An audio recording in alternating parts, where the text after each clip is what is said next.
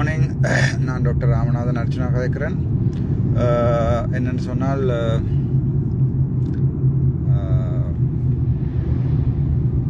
எங்களுடைய சாவச்சேரி ஆதார வைத்தியசாலையின் அஹ், நான் பொறுப்பேற்று என்னுடன் சரியாக ஒரு மாதங்கள் முடிவந்து அடைந்துள்ளது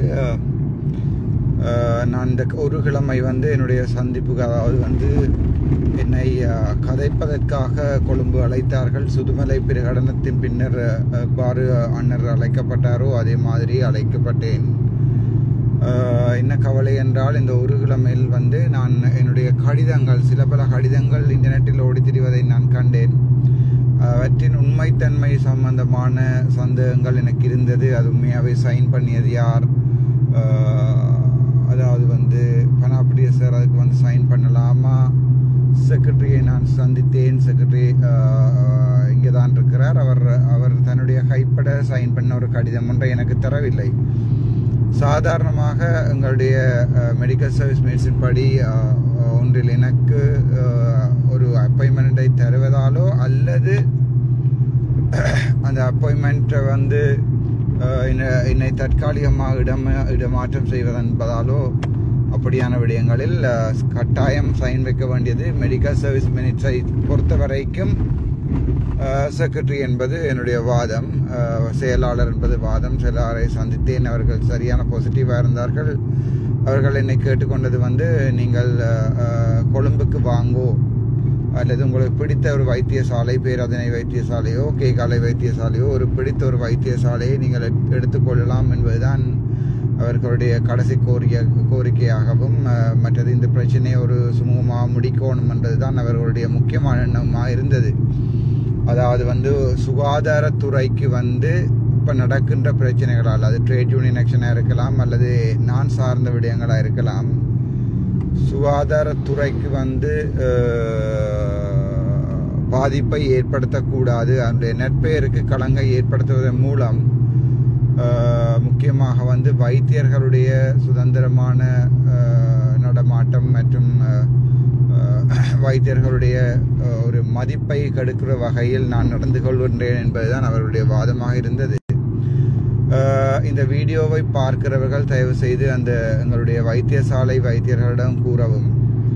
அவர்கள் என்னை பர்சனலாக தெரியும். அதில் ஒன்று ரெண்டு பேரை தவிர மிச்சம் இருப்பவர்கள் எல்லாருமே சரியான நிலம் doctor Indrakumar doctor Jegu doctor Sathyamoorthy போன்றோர் eh, தங்களுடைய ஈகோவுக்காக என்னுடன் முரண்டுபட்டு கொண்டு நோயாளிகளின் உயிரை பணியம் வைத்து eh, மீடியாவுக்கு முன்னால் ஸ்டேட்மெண்ட் கொடுத்தது. அது வந்து எனக்கு வந்து அவர்கள் ஏதாவது நடவடிக்கை எடுப்பார்களா இருந்தால் eh, அதே நேரம் அந்த நடவடிக்கை வந்து நான் ஈ- அதாவது ஒரு ஒரு கவர்மெண்ட் சர்வெண்டாக இருந்து கொண்டு ஈ கோட்டை மதிக்காமல் செய்திருக்கிறேன் என்று தான் சொல்ல முடியும். அப்படி சொல்வதாக இருந்தால் அதாவது வந்து கவர்மெண்ட் சர்வெண்ட்டாக இருந்து கொண்டு e ஈ கோட்டை மதிக்காம பொதுவழியில் நான் கருத்துக்களை விட்டேன் என்று மட்டும்தான் சொல்ல முடியும். அப்படியான சந்தர்ப்பத்தில் அந்த அதே பிழைகளை வந்து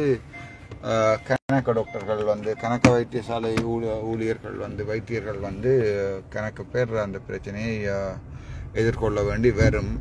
ஆனால் அது சம்பந்தமாக எனக்கு ஒரு பெரிய சந்தேகமே இருக்கிறது என்னவென்றால் எனக்கு மட்டும் ஏன் அந்த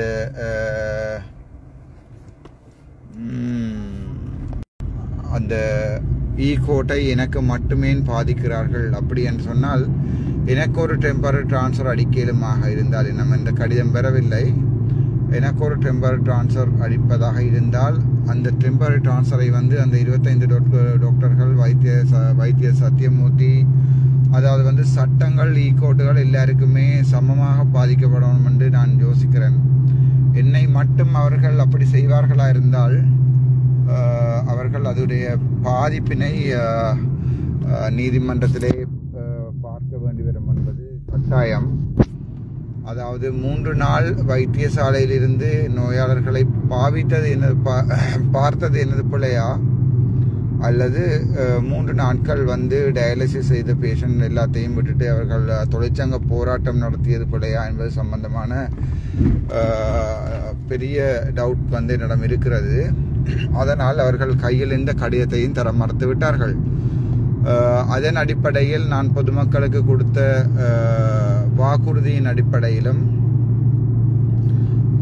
நான் வைத்தியசாலை அஹ், ஐத்தியச்சன் என்று பதவியை தொடர்ந்து வகிப்ப வகிப்பதன் அடிப்படையிலும் எனக்கு வைத்தியசாலை லீவ் வந்து இன்றையுடன் அதாவது நேற்றுக்கு நேற்றிரவு பன்னெண்டு மணியுடன் முடிவடைவதால் விடிய காலமே எட்டு மணிக்கு எனக்கு போக வேண்டிய தேவை இருக்கிறது. அதனால் நான் ஜாழ்ப்பாணம் நோக்கி எனது வீடு நோக்கி போய் கொண்டிருக்கிறேன். எனது வீடு என்பது வைத்தியசாலை. நான் வைத்தியசாலையில் தான் ரெண்டாயிரத்தி பதினெட்டுலேருந்து ரெண்டாயிரத்தி ஒன்று வரைக்கும் இருந்தேன். எனக்கு சொந்தமாக வீடு யாழ்ப்பாணத்திலும் இல்லை இலங்கையிலும் இல்லை. நானுடைய சொத்து விவரங்கள் கூட உங்களுக்கு சொல்லியிருக்கிறேன். அப்படியான ஒரு சந்தர்ப்பத்தில் வந்து இவர்கள் இன்றைக்கு யாழ்ப்பாணம் பூராகவும் தாங்கள் முழு நோயாளர்களையும் கொள்வோம் என்று ஒரு ஸ்ட்ரைக் ஒன்றை ஆரம்பித்திருப்பதாக நான் கேள்விப்படுகிறேன். அந்த ஸ்ட்ரைக் ஒன்றை எப்படி ஆரம்பிப்பதாக நான் கேள்விப்படுவது என்பது இவர்கள் பொதுமக்களோடு அதாவது நாங்கள் பொதுமக்களை நாங்கள் பொதுமக்களை வந்து நாங்கள் படையக்கேடயங்களாக வைத்து எனது அடிப்படை உரிமை மீறல்களை இவர்கள் மீறல்கள் செய்வது போல எனக்கு அது தெரிகிறது. ஆதலால் நீதிமன்றங்களும் போலீசாரும் வந்து நீதியின் பக்கம் நீதியின் பக்கம் நடந்து கொள்ளும்படி நான் தயவு செய்து அன்புடன் கேட்டுக்கொள்கிறேன். நாங்கள் பார்ப்போம் என்ன நடக்கிறது என்பதை நாங்கள் பார்ப்போம். ஆனால் நான் என்ன சொல்லுவேன் சொன்னால் அந்த டாக்டர்ஸ் வற்புறுத்தரின் பேரில் போன டாக்டர்ஸ் திரும்பவும் அதை நான் வாரன் என்று சொல்லி திரும்பவும் அந்த பிழையை செய்யக்கூடாது என்பது என்னுடைய பணிவான வேண்டுகோள். ஏன்னு சொன்னால் திரும்ப திரும்ப தாங்கள் அதாவது வந்து நான் ஆல்ரெடி டிசைட் பண்ணிவிட்டேன் துணிந்து விட்டேன். என்னுடைய வேலையை நான் ராஜினாமா செய்ய வேண்டி ஏற்பட்டால் கூட பொதுமக்களுக்காக நான் என்னுடைய வேலையை ராஜினாமா செய்வதை நான் முடிவெடுத்து கொண்டேன். எனக்கு பொதுமக்களின் சப்போர்ட் இருக்குது தாராளமாக. இவன் என்னால் ஒரு விவசாயம் செய்து கூட பிழைத்து கொள்ளக்கூடிய நிலைமை என்னால் இருக்கிறது. ஆனால் அந்த வைத்தியர்கள் வந்து யோசிக்க வேணும். அவர்கள் என்னுடைய தனிப்பட்ட பிரச்சனை இருந்ததா? நான் அவர்களை உண்மையாகவே ஏதாவது பாதித்தேனா? அல்லது அவர்களை பாதிக்குமாறு நடந்து கொண்டேனா என்பதை அந்தங்களுடைய எங்களுடைய சாவச்சேரி ஆதார வைத்தியர்கள் வந்து வைத்தியசாலை வைத்தியர்கள் வந்து இப்போ யோசிக்க வேணும்.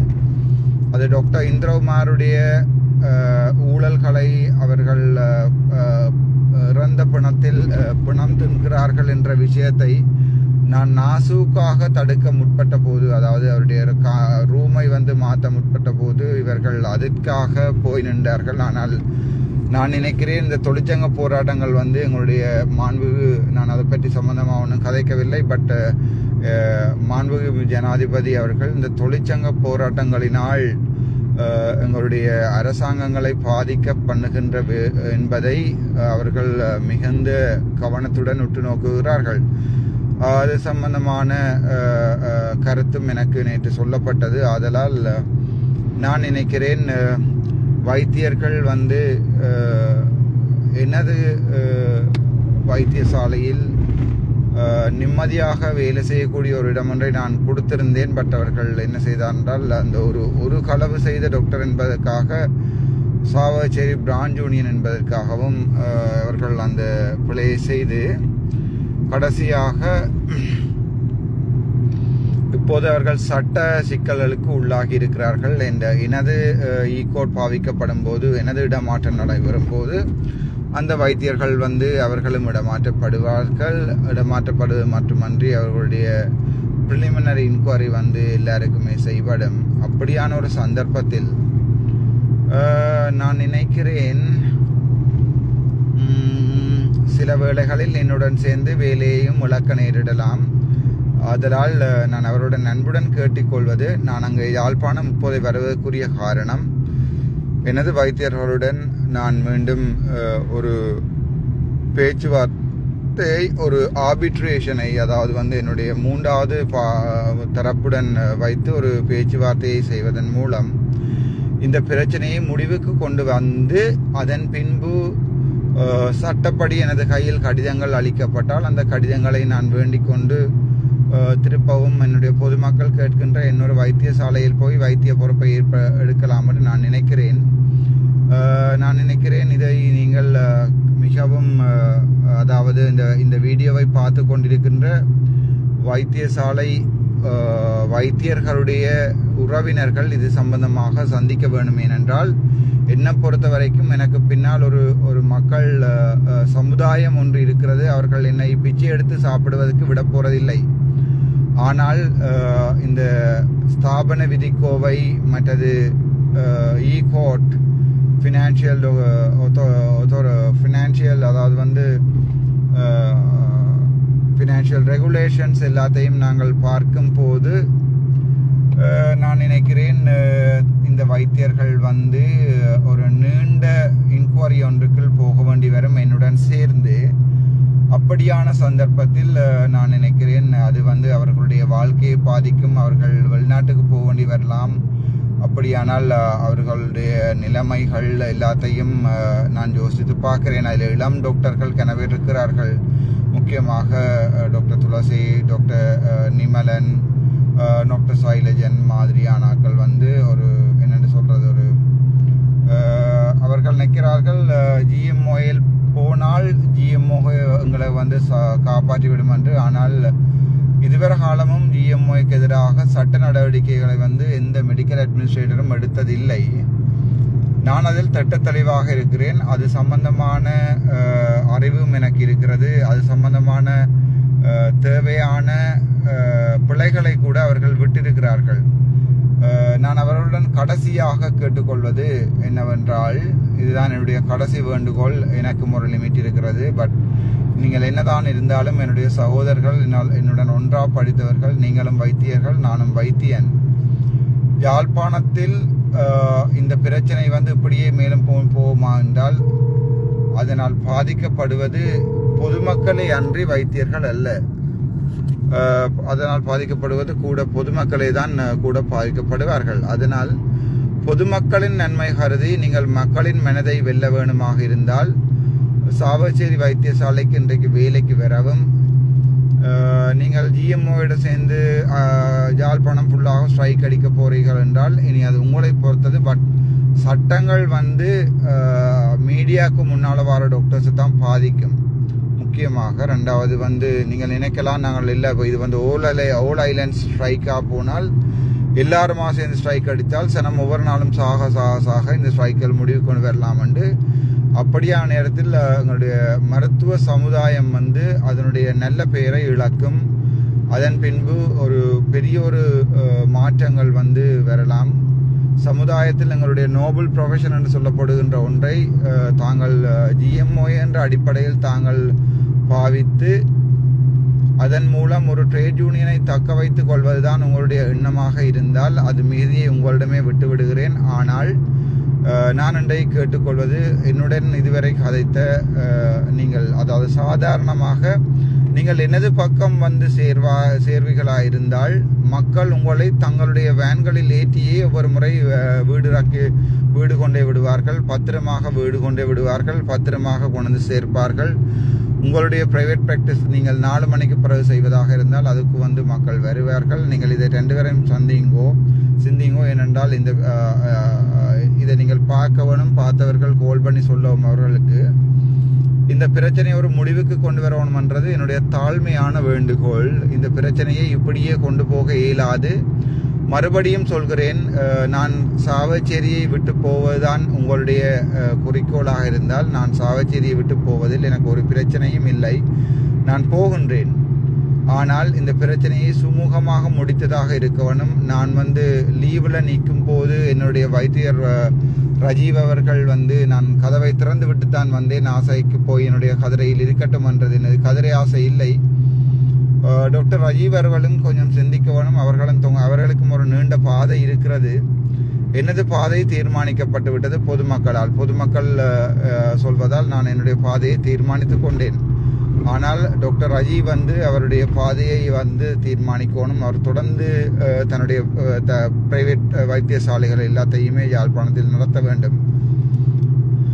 அவருடன் கதைக்கின்ற ஒன்று ரெண்டு பொதுமக்கள் வந்து அவர்களை சில நேரத்தில் சொல்லலாம். இல்லை ரஜீவ் நீங்கள் விடாதீங்க நீங்கள் தான் எம்எஸ் என்று சொல்லி பட் நீங்கள் உங்களுக்கு தெரிய ஒன்று டாக்டர் ரஜீவ் இலங்கையினுடைய உச்ச நீதிமன்றத்தால் ரெண்டாயிரத்தி இருபத்தொராம் ஆண்டு கொடுக்கப்பட்ட நீதிமன்றத்துக்கு அமைய ஒரு மெடிக்கல் அட்மினிஸ்ட்ரேட்டரை ஒரு கம்யூனிட்டி மெடிசின் பாஸ் அவுட் வந்து ரீப்ளேஸ் பண்ண முடியாது. அது மட்டுமல்ல நீங்கள் அதை ட்ரேட் யூனியன் மூலமாக டாக்டர் டால் பெனாபிட்டியவுடன் க சருடன் கதைத்து அதை எடுத்திருப்பதானது அந்த அப்பாயின்மெண்ட் எடுத்திருப்பானது நான் செக்ரட்டரி அவர்களுக்கு கேள்விக்கு உட்படுத்தினேன் அப்போது அவர்கள் அதை ஏற்றுக்கொண்டார்கள். அது பிழை என்பதை.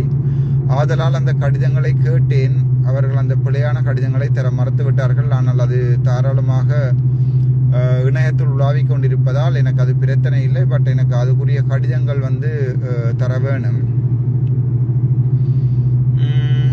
நாளைக்கு இன்றைக்கு திங்கட்கிழமை நாளை செவ்வாய்க்கிழமை வந்து சுகாதார அமைச்சர்களும் சுகாதார அமைத்தும் ஜாழ்ப்பாணத்துக்கு வருகை தர இருக்கிறது. வடக்கு மாகாணத்திலே எல்லா இடமும் போக இருக்கிறார்கள். சுகாதார அமைச்சர்களை சந்தித்து நீங்கள் உங்களுடைய கிரீவன்சஸை எழுதி கொடுக்கலாம். அதுக்குரிய பொறிமுறைகள் தயாரிக்கப்படும். முக்கிய முக்கியமான விஷயம் நான் திரும்ப உங்களுடைய சாவச்சேரி வைத்தியசாலையை கேட்டுக்கொண்டது. நீங்கள் மக்கள் பக்கம் வருவது உங்களுக்கு உசிதமாக இருக்கும் என்று நான் நினைக்கிறேன். ஏனென்றால் நீங்கள் எடுத்த எடுப்படியில் இருபத்தைந்து வைத்தியர்களுக்கு வந்து இடமாற்றம் செய்து வேறு வைத்தியசாலையில் கொடுப்பது கடினம். அப்படியான சந்தர்ப்பத்தில் வந்து அந்த வைத்தியசாலையில் வந்து சேவைகள் நடக்குமா? சேவைகள் நடக்குமா என்பதெல்லாம் ஒரு கேள்விக்குறி. இது என்னுடைய பணிவான உங்களுடைய தம்பியாக உங்களுடைய அண்ணாவாக என்னுடைய பணிவான வேண்டுகோள்.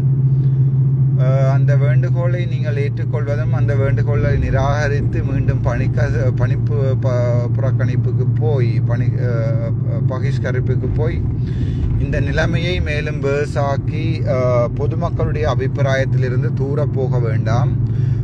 நீங்கள் நடுநிலையாக கூட இருக்கலாம். எனக்கு ஜிஎம்ஓயும் வேண்டாம். எனக்கு இந்த பிரச்சனையும் வேண்டாம். நீங்கள் நடுநிலையாக இருக்கலாம். வேலை செய்யவும் தேவையில்லை. வேலை செய்யாமல் இருக்கவும் தேவையில்லை. நாளை சாவகச்சேரி வைத்தியசாலையில் பிரசன்னமாகி மக்களுடைய அவசர தேவைகளை மட்டும் பூர்த்தி செய்து கொண்டாலே காணும் என்பது என்னுடைய தனிப்பட்ட அபிப்பிராயம். உங்களுடைய தம்பியாக உங்களுடைய அண்ணாவாக நான் அதை கேட்டுக்கொள்கிறேன். ஒருவர் ரெண்டு பேருக்கு வந்து நான் ஆக்ஷன் எடுக்கிறதால அது வந்து மக- வைத்தியர்களுக்கு எதிரான ஆக்ஷன் அல்ல. சில பேர் வந்து வைத்தியர்களுக்கு எதிரான டாக்டர் ரோஷாந்தனை நான் பார்த்தனான் நான் அவர்கள் வந்து ஒரு ம- அதாவது மருத்துவம் என்றது ஒரு என்ன சொல்கிறது ஒரு ஒரு உயரிய தொழில். இட்ஸ் நோபல் ப்ரொஃபஷன் அப்படி இருக்கும்போது நீங்கள் பெண்களுடன் படுத்துவிட்டு மைத்தா மச்சான் வயிற்றில் ஏறிவிட்டது கரைப்பதற்கு மருந்து தருகிறாயா இல்லையா என்றெல்லாம் நாளையில் கதைக்க வேண்டாம் என்றெல்லாம் நீங்கள் எழுதியிருப்பது எவ்வாறென்றால் பொதுமக்கள் தவறு செய்து போட்டு அதை உங்களுடன் வந்து கேட்கும்போது நீங்கள் அந்த தவறை க- அதாவது வந்து கருக்கலைப்பு செய்கிறீர்கள் என்கிற விடயங்கள் எல்லாத்தையும் நீங்கள் எழுதியிருக்கிறீர்கள். இது வந்து பாரதூரமான குற்றம். இது வந்து நான் இது சம்பந்தமாக நான் செக்ரட்டரிக்கு அறிவித்திருக்கிறேன்.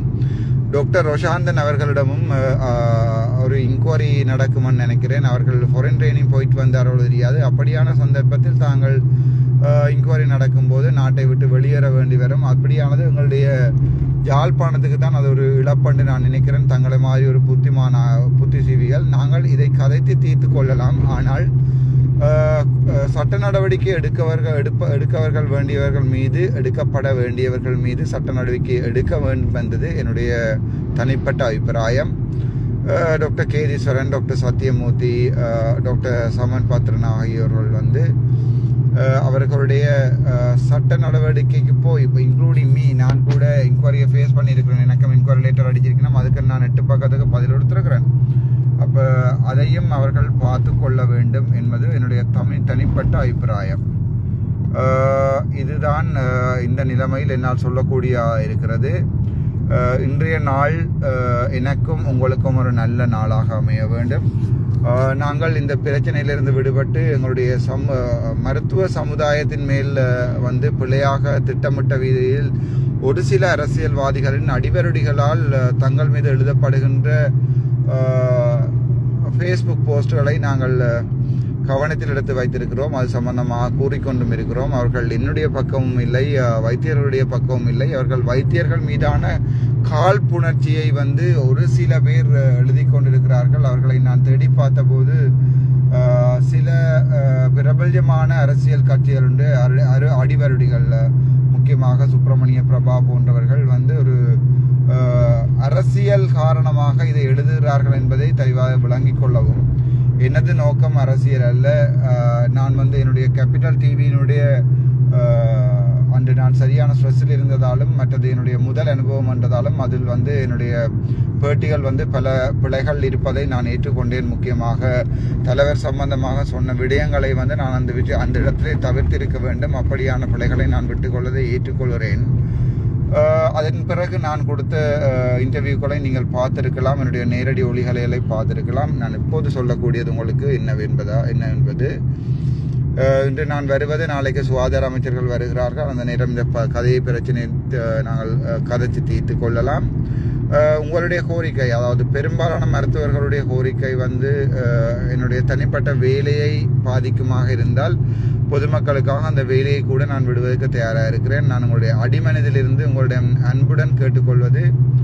நீங்கள் நினைக்கலாம் நீங்கள் வெண்டு விட்டீர்கள் அதனால் நான் தோற்கிறேன் என்று சொல்லி அந்த மனப்பான்மை உங்களுக்கு இருக்குமேயானால் நான் வென்று காட்டுவதில் எனக்கு பெரிய வேலை இல்லை. இப்போவும் அதனால் பாதிக்கப்படுவது பொதுமக்கள். ஆதலால் ஈகோ என்பதை நான் எப்போதே ஒரு எப்போதோ ஒரு புறம் தள்ளி வைத்து விட்டேன். இது உங்களுக்கு நான் கேட்டுக்கொள்கின்ற பணிவான பணிவான வேண்டுகோள். தாங்கள் இது சம்பந்தமாக யோசித்து முடிவெடுக்குமாறு இன்டலெக்சுவல் கம்யூனிட்டி என்ற அடிப்படையில் அதாவது வந்து ஒரு ஒரு என்னென்னு சொல்கிறது ஒரு மிகவும் படித்த கொம்யூனிட்டி என்ற அடிப்படையிலும் மற்றது சில வைஷாலினி போன்ற குழந்தைகளின் நியாயங்கள் கிடைக்க வேண்டும் என்றதை நீங்கள் நம்புவீர்கள் என்பதன் அடிப்படையிலும் நான் இந்த விஷயத்தை உங்களுக்கு சொல்கிறேன் இனிமேல் நடக்க போகிற விஷயங்கள் வந்து அது உங்களை பொறுத்தது